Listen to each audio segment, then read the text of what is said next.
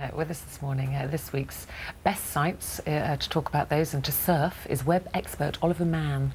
Pork and Beans is the first one. Yes, now this is a music video uh, because Geek Chic is back. Uh, which is good news for me, obviously. um, this is Weezer. Now you might remember them from the 90s. Ooh, I'll be just like Buddy that? I've got the wrong finger there, That's- it's like that. Yeah, you can yeah, make okay. a W. Oh, yeah, okay. Oh, I see. Yeah, uh, and they've got a new video out. It's called Pork and Beans, uh, and in just 10 days on the internet, it's managed to accrue 5 million views. 5 million people have watched this video. Why? Uh, because it's not just the band who are in the video. They've managed to get together in one room, basically, everyone who's made an idiot of themselves on a web camera in the last two years and been a star on YouTube.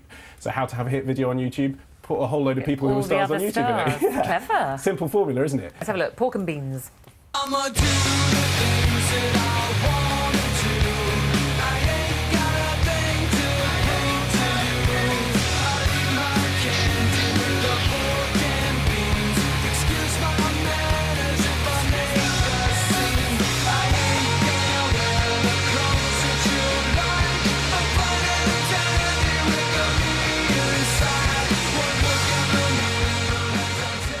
A great song. It's a So great who song. are the people? Well, right. You might recognise some of them. Uh, you might not recognise others. One of them, the, one of them's Afro Ninja. Actually, he's he's famous purely for not being able to do kung fu. Two million people have seen him fail to do kung fu. Uh, so the way people achieve web celebrity is, is diverse, to say the least. Um, actually, one bit we didn't see just then in a clip is is they use uh, Coke fountains, uh, and that's based on um, some scientists who have basically made a career. They're from a, a website called eepybird.com of mixing a certain brand of mint with a certain cola. Uh, at the end of the video, Weezer are seen uh, dancing around fountains made by these guys. Look at that. Fern and I did that. No, well, not quite. It wasn't quite as big as that. Was it spectacular though? We did it out on the uh, on the roof outside. It Probably was, wise. It was spectacular, yeah, and a little scary, Yeah. and a bit sticky. We were covered by wasps when we came back in again, but uh, Don't try it at home. It wasn't quite as good as theirs. But do book them for your wedding. Yeah. Fantastic. They've made a job out of doing that now. So they're in the video. Who else was referenced in the video? Well, Chris Crocker. You might have seen him miming along to the song there. Now, he's the 20 year old uh, kind of gay video blogger uh, who's a complete exhibitionist, and he became famous through a video blog he did called Leave Britney Alone. Uh, let's have a look to remind ourselves of that in case uh, you've forgotten it. It's always worth another look. All you people care about is readers and making money off of her. She's a human! well, it's true. Oh, It's bless. true, We a shouldn't little, laugh. little He's overstated. very upset. Let's uh, let's move on to man babies. Yes. Oh my lord. I mean, I thought those pictures of Liz Taylor were pretty freaky, but this is something different. Uh, this is. Uh, I'd look away now if you're of a nervous disposition. This is a website which has taken family pictures. Uh, you take a baby's head, you take the father's head, and you switch them around. Now, that wouldn't sound like a web phenomenon which would engage you for more than a few minutes, but trust me, I spent about an hour looking at this website. It is quite scary. It's like a car crash. You can't stop looking. Uh, let's look at some of my favourite pictures from the site. There we go.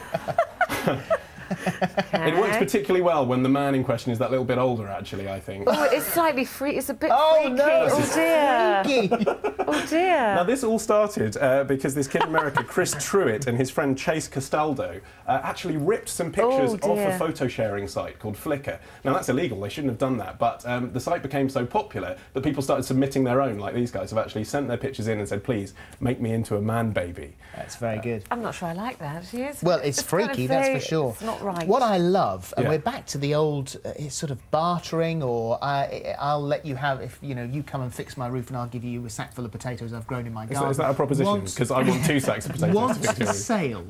Wants for Sale. I love this website. Yeah, brilliant way of making money on the web. These are two artists from New York City. Christine and Justin are their names. Uh, and like everyone else in the world, they want all the luxury goods that they can't afford. Uh, so they came up with a device. How about we make paintings of the things we want, and then people can buy the paintings that we advertise on our website for the price of the goods depicted in the painting. Example. Good idea. Let's have a look. This is Okay. a pepperoni pizza. Three dollars for the painting. Bought them a real pepperoni pizza. Okay. Uh, a juicy steak. Eighteen dollars thirty-nine. Bought them a real juicy steak, and their website is full That's of their this. painting of a juicy steak. And they sold it for eighteen dollars thirty-nine. Why How? didn't they paint a Ferrari? Well, it escalates. How about this? Uh-huh. Electric guitar. Justin wants a new electric guitar. Sixty-four dollars ninety-eight. They sold that painting for. So no more or no less than they're worth. Uh, Absolutely. Yeah, okay. Uh, and this is my favourite here a $100 bill. I think to have the cheek to do a painting of a $100 bill and then charge $100 for it They're is quite amazing. childlike, the paintings, if I may say. They aren't are. I think that kind of cartoonish appeal is, is Good idea, part though. of why people like The it. one that we showed earlier on was uh, was cheese rolling in Gloucestershire. So let's so let's finish with that one. Okay, well, uh, I'm actually slightly concerned for the well-being of people in Gloucestershire. uh, this is the latest web viral that people are forwarding around. Uh, on Bank Holiday last week, they all got together and chucked themselves down a hill. Now, this is an annual contest Yes, I was to gonna say, it chase after every a year, cheese. yeah. Happens every year. But what's happened is it's gone from being a local or a national English story to being an international story because of the web. Mm. The clever people at uh, soglos.com, which is an online magazine for Gloucestershire, have filmed it and put it on the web. So now two million people check out these clips every year. Dangerous though. How many injuries are there? I mean, St John Ambulance I thought would be ow. very uh, busy that day. That's right, the ambulance are on hand. Crikey, look at that. and there are famous faces too. There, Rory McGrath did it this year. I think we've got a clip of him actually sliding down the hill and waving to the camera uh, as he does. Um, that Where's was Rory McGrath? Have we got that? Have we got Rory? Here he comes.